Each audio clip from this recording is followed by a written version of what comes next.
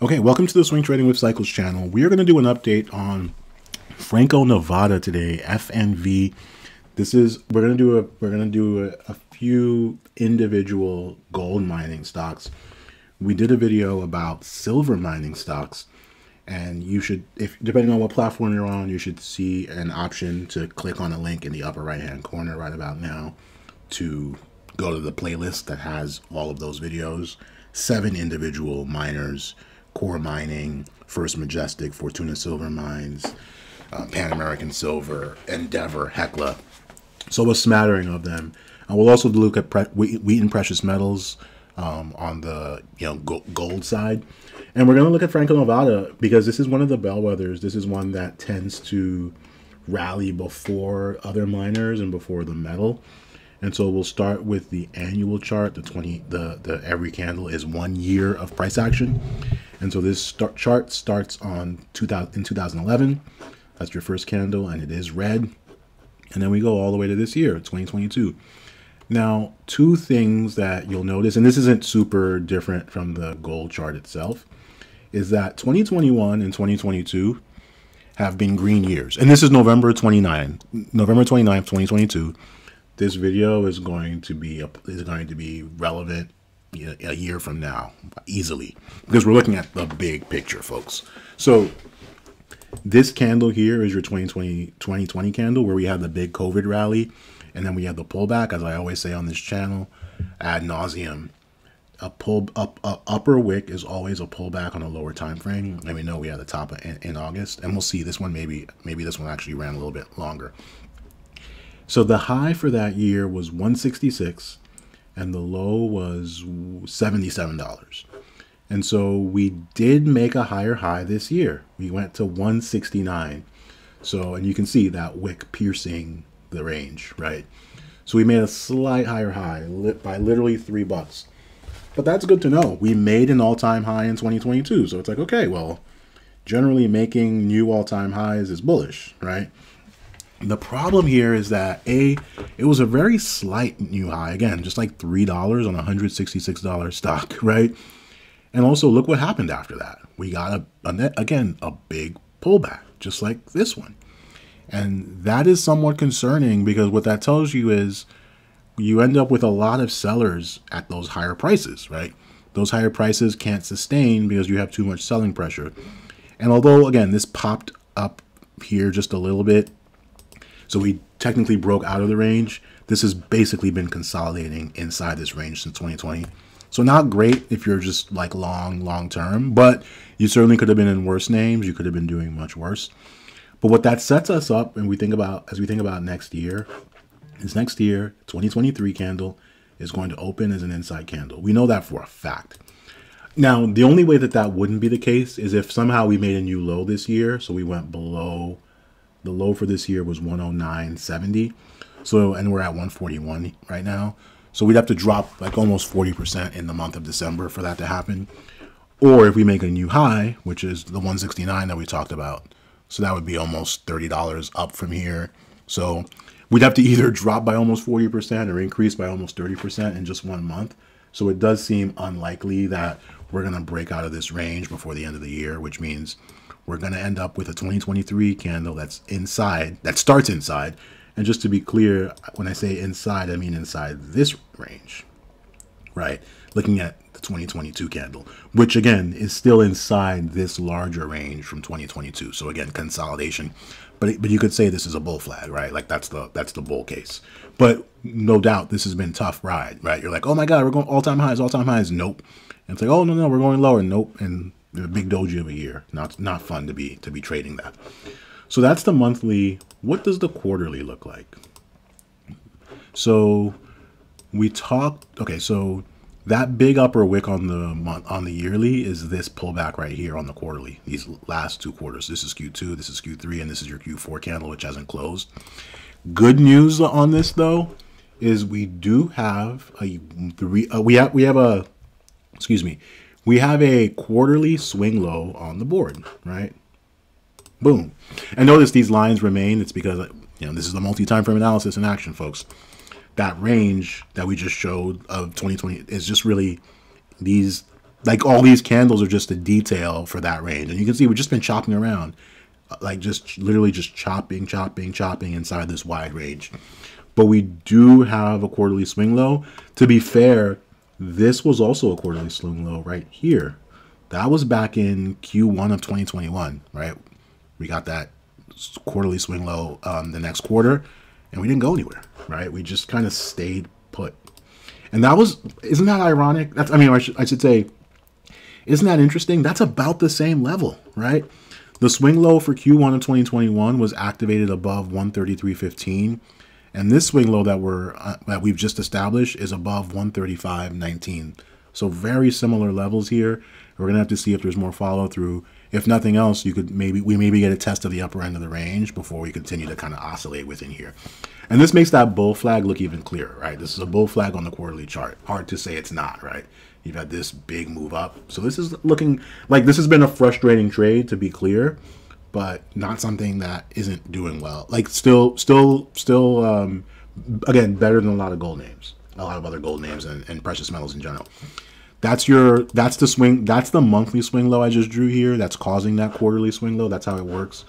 A swing low on a time frame is caused by swing lows on lower time frames that have gotten follow through um, in the direction of the move, right? So that was that's our swing low there, boom. Um, and so we're trying to take out this stuff, right? Um, so that's your that's your monthly chart, and you can see this is our 2020 or yeah, this is our 2020 top, like our COVID top, and we basically just have, and we know that from looking at the annual chart that it's really just been a series of like this is a triple top, right? I mean, look at your like that's a top, that's a top, that's a top, all at the at basically the same level. So as we try to approach this again, are we going to get a quadruple top, right? Or is this going to be the time we kind of finally kind of break above that, right? Like that's the that's the real question. Um, so that's your monthly, and if you think about um, the the the long term cycle for gold, same kind of idea that maybe this is our long term cycle. And again, we did have this swing low here that actually produced a rally that lasted about four months, right? So, you know, you had four green months, you had one red month in between it. But notice we just kind of chopped around after that and then had this double bottom kind of situation. So we want to be vigilant for that kind of thing. And then if we zoom into the weekly chart. So on a weekly level, let's just map this out here. So this last weekly cycle had a top on week 11 bottomed on week 35. So that's a pretty long weekly cycle. And this isn't exactly the, this is a very similar count to GDX as it usually is. So we bottomed on the week of September 26th, and then we had one. I mean, this is like almost like an identical candle that GDX saw. So one, two, three, four, five, six, seven, eight. So it's the same count. So we have our high on day on week on week eight, and we're looking to see are we going to be able to make a new high, or is this our top for the weekly cycle? And you know we're just kind of zooming in further and further. This is just an inside week week so far which is the same thing we're seeing for gdx right now. Again this is the week after christmas. We've had a bit of a breakout that we're kind of consolidating. So week eight of the weekly cycle. And then if we think about the daily cycle this is interesting. Looks to me like that's it right there which may means we are moving into a daily cycle low is my guess here. Like we have a top on day 43 that's pretty long in a daily cycle, right? Right, so you have this whole rally. I mean, this is an ugly pullback that was really scary. But you essentially have this rally that's topping out here. And so just like it's an inside week, it's actually also an inside day. Right? And the and the the range on the inside day is high of 143.80 and a low of 139.23. So as gold names go, and this is also above the 200 day 200 day moving average, which you cannot say about GDX, I don't think. Right. So GDX is right below the 200 day moving average, and this is right above it. So that's a very clear bullish um, difference, right? That we're consolidating above the 200. So even though, even if we are moving into a daily cycle low, which it would make sense that we would be, maybe into like the 135 area, that you know, it, it does appear that it's setting up for a higher low. So now let's look at the ratio charts. So on the left-hand side, we have Franco-Nevada itself, and we had already looked at this chart. These, let me just refresh this page. It's not cooperating. So we're going to have the, on the left-hand side, Franco-Nevada chart itself, and on the right-hand side, the ratio of Franco-Nevada to GDX, its peers, to see are we outperforming. And we'll also look at SPX just to kind of get a quick sense of that. Okay, so let's look at the annual chart, the 12-month chart. We just looked at this. Um, oh, this is reset to SilverCrest. So that's FNV. That's FNV divided by GDX. So you can see again, we just looked at this chart. We've had, you know, unfortunately some frustrating doji action the last two or three years. But the ratio chart, man, look at this thing. So in 2020, we had a really ugly bearish candle. And just to be clear, when this is going up, it means Franco Nevada is outperforming. And so you have these years of massive outperformance. So even though this was just like chop on the, in absolute terms, you did way better than GDX did with by being in, in, in, in Franco Nevada. And these last two years have been have seen upward like 2022 is making a higher high above 2021 whereas for the absolute chart it's really just kind of consolidating side by side. So this is telling you this is outperforming and if we look at the three month the quarterly again we know there's a quarterly swing low in place in absolute terms. For in the case of the ratio chart we actually have a swing low all the way back from 2021 from january 2021 when we started kind of outperforming so that's looking really bullish. And on the monthly level, um, yeah, very similar kind of picture here. So again, so th this is that period where we just kind of really outperformed, and then we've gotten into a much more kind of sideways grindiness here a little bit. But this appears so this is this little bit of consolidation. Like if you looking at the annual chart, how we're making a higher high, I'll go back to that actually you would expect, I mean, the way this chart is shaping up, like the odds favor that the next candle would be something like this, right? Like an up candle, we would make another higher high on the yearly chart, which means we would be making higher highs on all time frames, right? Think about that. If we make a higher high on the yearly chart, then by definition, that's going to be a higher high on monthlies, weeklies, dailies, you name it, right? And so that's what it looks like it's setting up. And the thing I would call out is all of this is inside the range of 2020. The same way that the absolute chart is also inside the range of 2020. So that's important that, you know, in 2020, Franco Nevada kind of wobbled versus GDX. It didn't do as well, but it's now kind of rebounding. Looks like it's trying to set up another one of these moves. So when the gold, all that to say, when the gold mark, gold, when the when the, when we know for sure that we have our precious metals bull market, we have our eight-year cycle low behind us.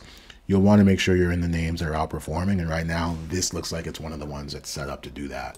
Franco Nevada. Not a huge surprise, but it's helpful to see the specific levels and understand how do you look at that from a data driven analysis perspective, not conjecture, emotion, etc. So I'll leave it at that. Thank you for for watching. I, I, guess actually before I do that, I'll just look at FNV versus Spy. Is that looking? Oh God, that's a chop zone. Oof. So Franco Nevada versus Spy, big down year in 2013. And since then, we've just been kind of inside that range. We briefly poked our head above it in 2020 with the COVID rally. But since then, we've just fallen back inside that range. It is of note that this is a bullish outside year, right? Where we made a new low, but we also now made a new high and it's green. So let's zoom into like the monthly chart, for instance.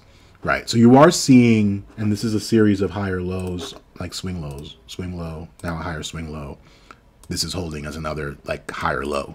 So positive action. So not only is it set up to outperform GDX, but you imagine, I mean, in a gold bull market, certainly you would think gold is going to outperform GD, um, the, the stock market as a whole. And obviously, if you're in the best performing name, you'll be doing even better. So this is also kind of promising.